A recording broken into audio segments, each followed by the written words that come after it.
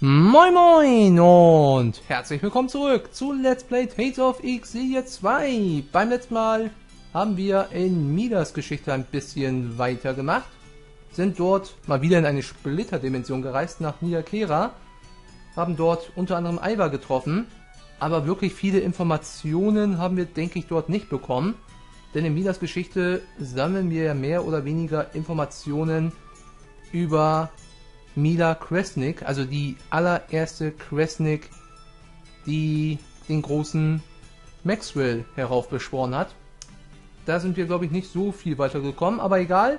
Wir sind jetzt gerade in Neront, um mit den vorerst letzten Figuren neben Ereignis weiterzumachen. Und überraschenderweise geht es schon wieder mit Muses Geschichte weiter. Wenn ich mich richtig erinnere, erst beim vorletzten Mal haben wir schon ein Kapitel ihrer Geschichte gemacht und jetzt geht es direkt mit ihr weiter. Okay, man muss dazu sagen, Muse ist ja relativ spät zur Gruppe gestoßen. Deswegen muss man sich, oder muss man hier jetzt vielleicht ein bisschen, was die Kapitel angeht, aufholen. Aber ich bin sehr gespannt, wie es jetzt mit Muse weitergeht. Wie gesagt, das letzte Mal ist erst zwei Parts her. Da war ja der Versuch, ihren Freunden Geschenke zu machen, mehr oder weniger gescheitert. Mal gucken, wie es jetzt weitergeht. Im Musis Kapitel 3 mit vereinten Kräften. Some people are headed our way. I wonder what for. Ancient Luger, right?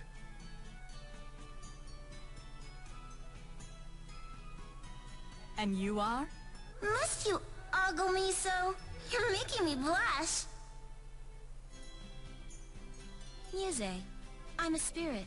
Is that a problem? No, I didn't mean... I apologize. We've received an urgent mission from HQ, directing us to exterminate monsters in the Felgana mine. I sent out an APB for all agents in the Laronde area. These two agreed to join you. I'm Lisa. It's an honor to meet you, sir. I promise I won't get in your way. I'm Min. Pleasure. Wait, isn't that... No way. It can't be. This mission will be a binational operation. I wish you the best of luck.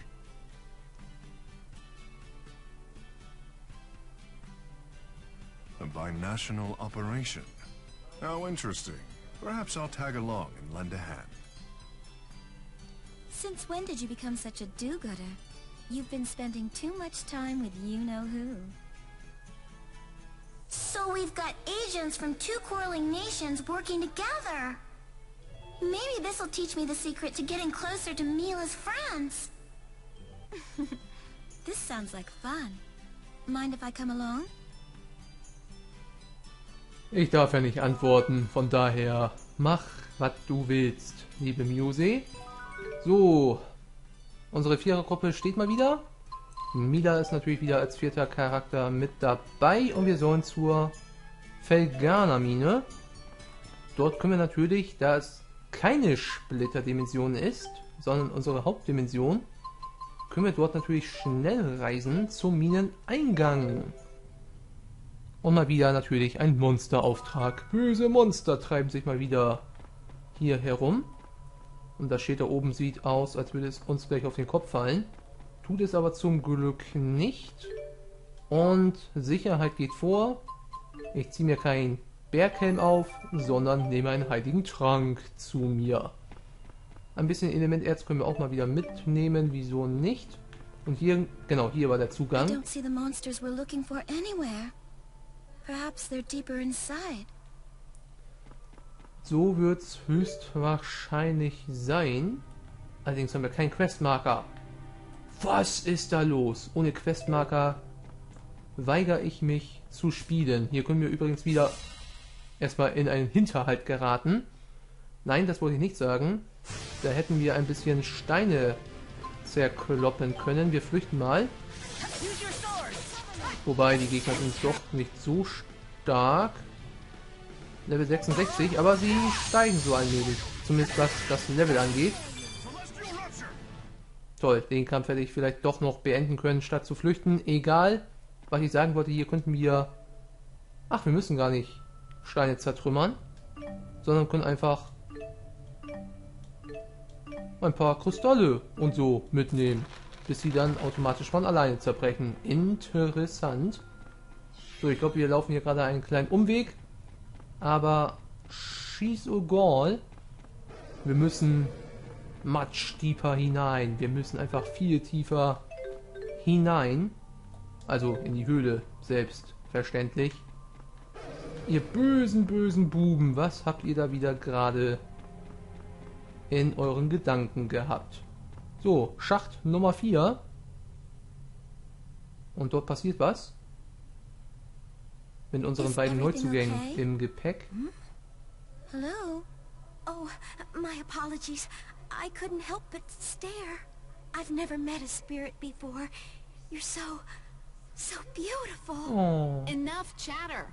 Monsters won't wait for you to finish your conversation. I got scolded again. You're from Riza Maxia. Why are you working with Spirius Corporation? I wanted to try cooperating with people from Olympias. You don't mind the Olympians? They seem to be pushing you pretty hard. They're doing it for my own good. I'm not living up to my full potential. You're so adorable! Don't let anyone try to hold you back! Are you stupid? Lisa! Y yes, ma'am? Now I remember why I hate Riza Maxians. I wonder if those two will ever get along. Hm. Aber man muss sagen, Lisa ist schon relativ sympathisch. Die Stimme vom Musicsgeist Nummer 2. A binational military force. What an interesting idea. Indeed. It is an obvious idea, but actually putting it into operation reveals numerous obstacles. It's a testament to the Spurious Corporation that they were able to iron out those obstacles so quickly. Yes, it certainly is. Gaius has such long eyelashes. They're like the eyelashes of a horse. What the fuck? Hmm? if this sort of experiment becomes commonplace, it would give me more hope that humans and spirits will be able to coexist peacefully in the future. Yes, indeed. In that sense, I have high hopes for you. What do you think, Luger? Ich denke, dass du immer was anderes sagst, als du gerade denkst. Das ist ja wirklich extrem. Ich bin deiner Meinung, darüber muss ich jetzt nachdenken. Nein, wir sind deiner Meinung. So we're all agreed then. That makes me think. How come it's considered a compliment to comment on the length of someone's eyelashes? And yet, you're not supposed to mention their nose hair at all. Besser nicht. Luger? Gaius, is something wrong? no. Hmm? Beard hair is fine too, just like eyelashes. Only nose hair is forbidden. It makes no sense. I just don't get human aesthetics at all. Ach, musst du auch nicht unbedingt. Aber schön, also diese Dialoge, wo man die Gedanken von ihr liest, finde ich wirklich sehr gut gelungen. Okay, wir gehen noch tiefer hinein in die Höhle. Warum muss ich das immer wieder noch erwähnen? Ich weiß es selber nicht. Hallo Skelett. Ein größeres Exemplar von dir haben wir beim letzten Mal besiegt. Mal gucken, was uns am Ende dieser Höhle, dieser Mine erwarten wird. Fledermäuse sind nervig. Ich weiche Fledermäusen nur zu gerne aus. Looks like we're getting close. Let's hurry up and butcher those things, and then we can head home. Oh yeah. What's the plan? Liebe Musi? Ach nö. Ich hab doch gerade Fledermäuse erwähnt. Lisa and I will take the monsters on this side. You handle the rest. Don't bite off more than you can chew. We'll be fine. Please, just take care of the rest.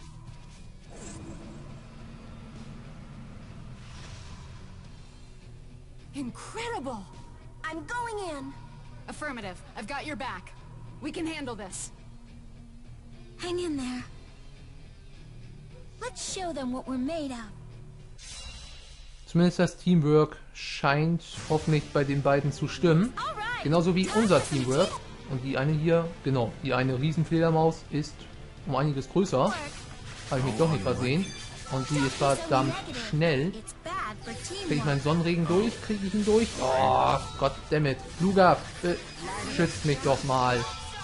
Okay, das wird wohl nix. Stattdessen werde ich meine schöne, hallo, meine schöne neue Combo machen. Nämlich diese hier. Ich liebe diese Combo. Und die macht ganz viel Schaden. So nebenbei bemerkt. So, wir gehen jetzt mal auf die Riesenfledermaus. Ich glaube, die kleinen sind sowieso... Was war das denn gerade? Ah, Sonnenregen. Ja, Musi. Schön, dass du diese Attacke auch beherrschst. Ich glaube, Musi müssen wir demnächst auch häufiger in unsere Gruppe aufnehmen. Ist nur die Frage, wen lassen wir dann zu Hause? Gaius oder Elise? Ich weiß es ehrlich gesagt noch nicht, aber Musi hat sich wirklich als praktisch erwiesen. We all earned this victory. Let's leave it at that. Genau, belassen wir es dabei. Schnellgang Level 1. Eine neue Arkanate für uns, also für Mila. Sehr schön. Da fällt mir ein, ich muss die Extraktor mal bald wieder wechseln. Mache ich aber natürlich offscreen. Da habe ich schon sehr lange nichts mehr gemacht. Ach, und das war schon. Mission accomplished. Those monsters won't cause any trouble for a while now. Excellent work. And thanks. You might be a bit of a ditz, but I'm sure glad you're on my side. I underestimated you. Thank you. You were amazing back there. Ah. So, do you two like each other or hate each other or what? You know, I'm not really sure myself anymore. Politically, we have some things to work out. But personally, I guess she's not so bad. Yeah, if you and I can be friends, then someday everyone can. Let's not get carried away. Farewell, Ms. Muse. Bye-bye. Having a common enemy brought those two closer together. It's like a year ago all over again when Gaius and Jude's group was fighting for the same goal. Of course, I was deceiving all of them, so I can't really say that I fought beside them.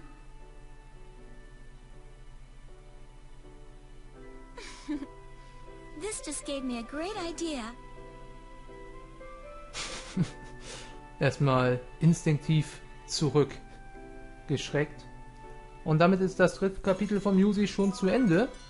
Kürzer als gedacht und wir bekommen ein weiteres Outfit für die liebe Musi. Aber wir gucken mal kurz auf die Weltkarte. War es das? Mit unseren Figuren Nebenereignissen. Es sieht schon wieder fast danach aus. Okay.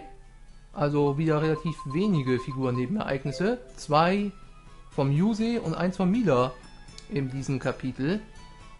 Und ich hoffe, wir haben in den vorherigen Hauptkapiteln keine Nebenereignisse verpasst. Denn irgendwie kommt mir das ein bisschen komisch vor, dass wir zum Beispiel in Layers Geschichte schon ewig lange nicht mehr vorangeschritten sind. Aber ich hoffe, ich mache mir da zu unnöten nur Sorgen. So, liebe Musi, wieder ein Schritt weiter, die Menschen besser zu verstehen. Aber insgesamt muss man, glaube ich, sagen, auch wenn sie manchmal so ein bisschen kindisch rüberkommt, hat Musi, ich behaupte mal, ein besseres, eine bessere Menschenkenntnis als Mila. Wobei, dazu braucht man auch nicht viel Menschenkenntnis, um Mila zu übertreffen. Wie dem auch sei, wir sollten dann mit einem Blick zur Uhr, auch ein bisschen Zeit haben wir sogar noch, dann würde ich sogar sagen, wir setzen die Hauptgeschichte zumindest noch ein bisschen fort. Dazu gehen wir mal zu unserem Apartment und lesen den Brief, den uns ja Julius beim letzten Mal hinterlassen hat. Ich bin sehr gespannt, was dort drin stehen wird. Instruktionen, was wir zu tun haben. Wir wissen, wir wissen ja, wir brauchen eine Seelenbrücke, um nach Canaan zu gelangen. Haben wir hier noch irgendwas Neues? Sieht nicht so aus. Wollen wir erstmal ein bisschen Fernsehen, ein bisschen chillen? Nein, natürlich nicht, denn dort ist ein wichtiges schriftliches Dokument. Setzen wir die Hauptgeschichte fort. Das müsste Kapitel 15 sein. Und so viel wird da nicht mehr kommen.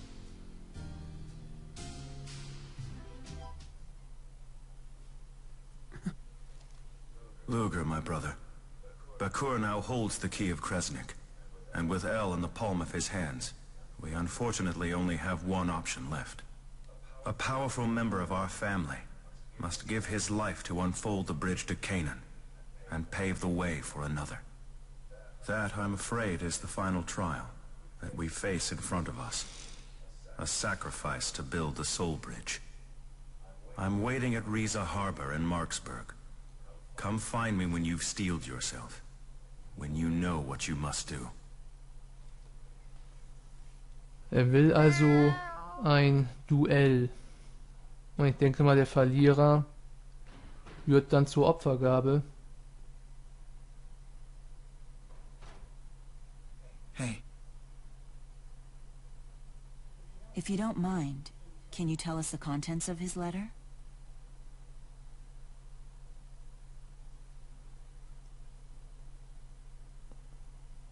Brüder auf ewig. Kapitel 15 Maybe El had already figured out that a human sacrifice was the only ticket into the land of Canaan. There's a secret to entering Canaan, and I possess it. The life of a Kresnik. Correct?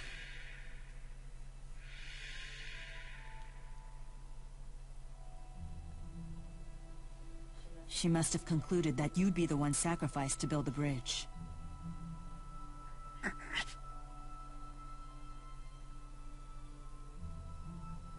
Das war der Plan. Before we proceed further, there is something I must know. Do you believe you are capable of sacrificing your own brother in order to reach the land of Canaan? Caius?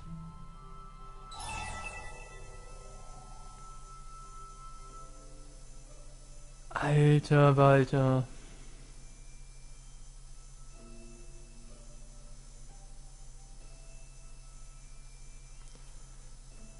Oh, ich will diese Frage nicht beantworten. Mir bleibt keine Wahl. Bleibt uns denn wirklich keine Wahl? Es gibt doch noch auch noch andere Kresnik-Mitglieder, oder nicht? Wie eben zum Beispiel Rideau. Soll jetzt nicht irgendwie bedeuten, dass ich einen anderen Menschen opfern möchte. Aber es gibt doch bestimmt noch eine andere Möglichkeit, oder? Als einen von uns beiden zu opfern. Oh. Und irgendwie habe ich ein Gefühl, dass die Antwort, die wir jetzt geben, eine große Bedeutung spielen könnte. Und ich habe das Spiel vorher nicht abgespeichert. Ich Vollpfosten.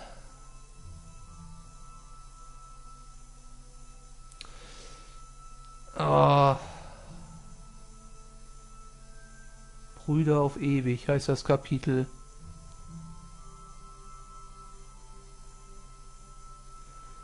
Und ich denke, Julius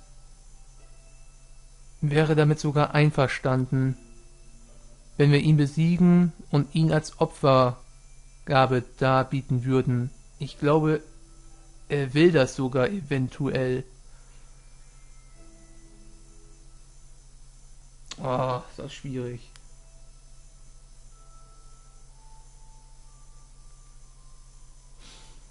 Wir sagen erstmal zweiteres. Ich habe keine Ahnung, ob das wirklich so einen enormen Einfluss hat, von dem ich denke, dass diese Entscheidung einen Einfluss haben wird. Wir sagen natürlich nicht. Aber es ist, glaube ich, die falsche Entscheidung. It's only natural you would feel that way about this. Luger, why don't you stay here for the time being? We'll go speak with Julius.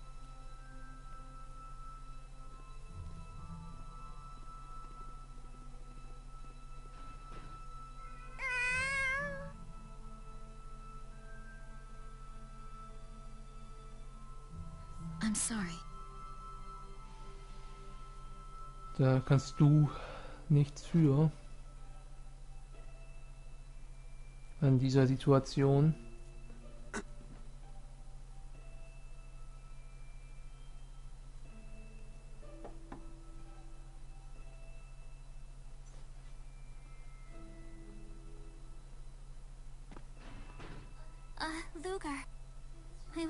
Stopping by to celebrate you paying off your loan, but, uh...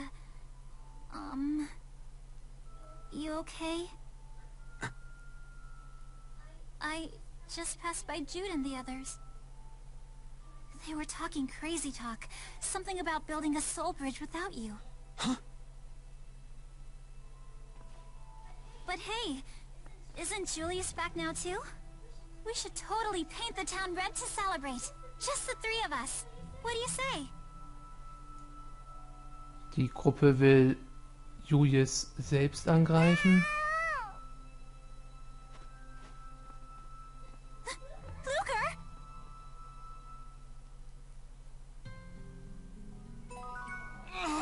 Du Scheiße. Natürlich meinen sie das gut, aber und wollen Luger damit helfen, aber ich glaube, damit würden sie das krasse Gegenteil bewirken. Wir müssen nach Marksburg. Geh zum Rietzehafen nach Marksburg, wenn du soweit bist. Erstmal kurz nochmal die Map checken. Marksburg, dort geht es mit der Hauptgeschichte natürlich weiter. Ich kann mir jetzt nicht vorstellen, dass wir irgendwo noch Figuren Nebenereignisse haben. Ne, sieht nicht so aus. Hm, ich möchte vorher auf jeden Fall nochmal das Spiel irgendwo abspeichern, bevor wir dorthin reisen. Denn ich glaube, irgendwann demnächst wird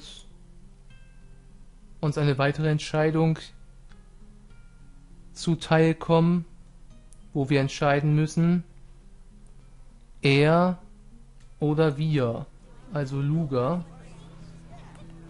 Ah, Leute. Nein, wir müssen zum anderen Eingang.